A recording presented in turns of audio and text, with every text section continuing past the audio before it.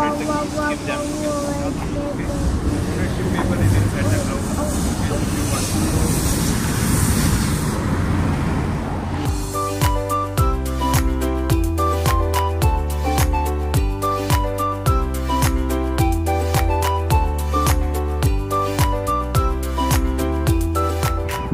guys, welcome back to our channel.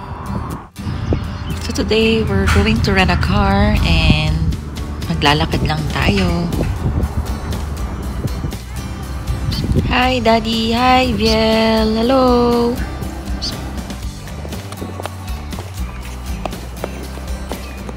Kaya tayo. Hi Viel, come on. Viel na. Video! Video!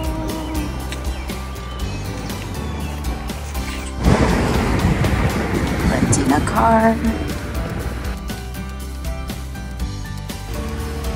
We are here at Enterprise Rent a Car at St. Catharines.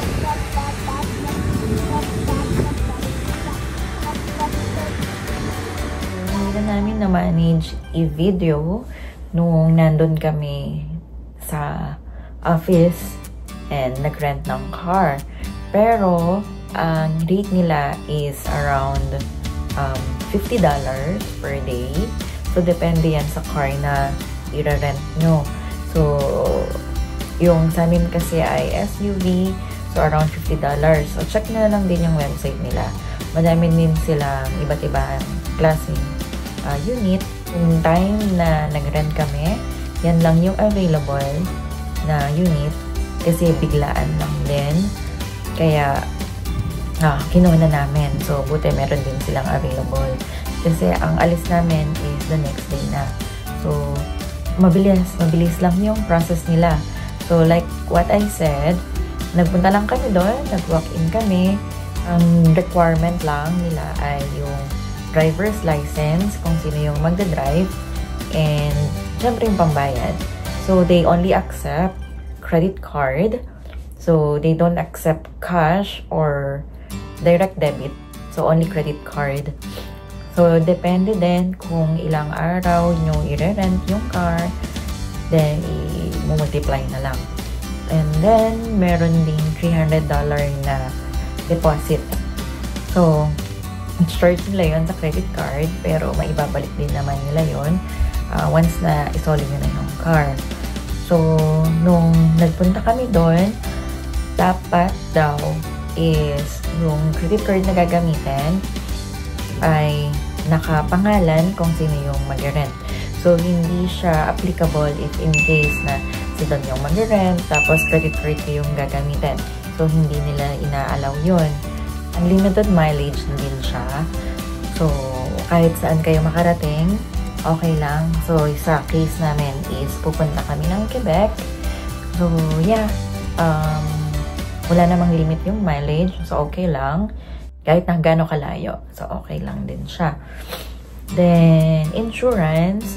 So, if in case na meron na kayong sasakyan, katulad namin, meron kami sariling sasakyan dito, So, yung insurance na lang ng kotse namin, ayun yung gagamitin namin insurance para dito sa car na i-rent namin.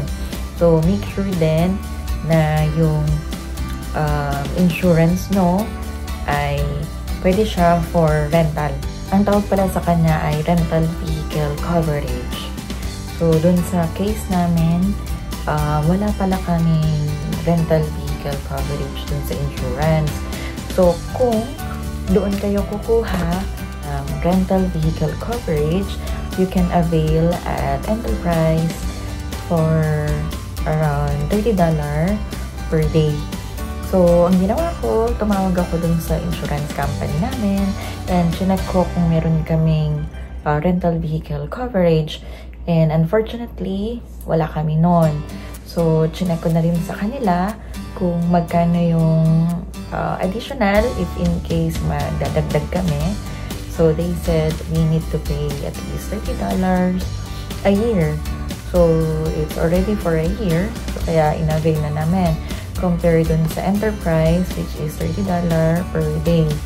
So, yeah, and maybe it's uh, possible na mag-rent ulit kami in the future. So, we might be needing that. Um, what else? So, um, you can also add like um, additional driver. So, that will be $10 per day per driver.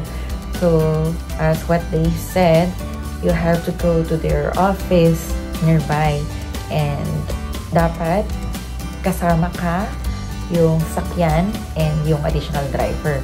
So, they'll be needing the driver's license as well. So, para at least kung mahaba-habang biyahe, then meron kayong uh, backup driver. Meron din kayong backup driver and makakapagpahinga yung isa. So, pero sa case namin, si doon lang yung may driver's license. So, siya lang ang makakapag-drive during our trip. Yeah. So, ito na yung nirent namin na car. So, this is the car that we are renting. Now, Let's take how a do you look. consider damage on the vehicle? Any scratch, any scuff on the vehicle bigger than 6 inches, that's counted as a damage. Any dent on a vehicle bigger than 2 inches, that's as a damage. Just make sure you won't get any crack anywhere on the vehicle. Speeding ticket, parking ticket, toll ticket, that's use of just drive them. Okay? Okay. Just give me a minute. Mo na lang.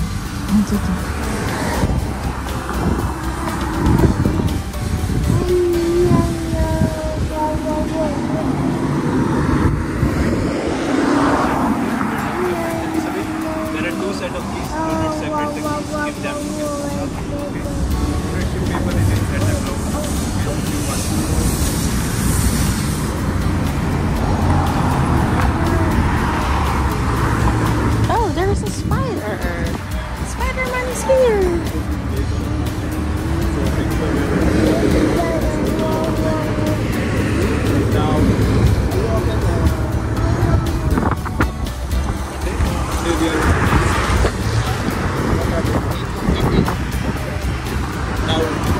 make sure we are also providing vehicle protection as well.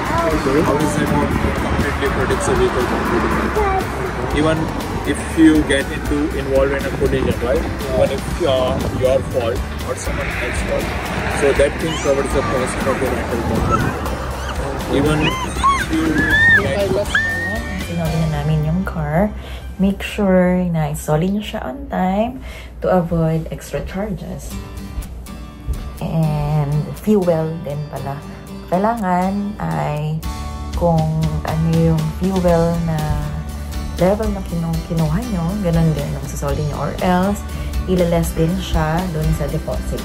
So, it's up to you also kung gusto nyo i-less dun sa deposit or magpa ah, magpa-gas na din kayo. Thank you guys for watching. I hope may natutunan kayo. So, please uh, like and subscribe to our channel and hit the notification bell sa, para lagi kayong updated. Thank you guys! And gising na si Colette yata. Kumakamot na naman. Bye! Say bye-bye! Bye! Thank you guys for watching. Please hit the like button if you enjoy our video and subscribe to our channel. Thank you. Bye-bye.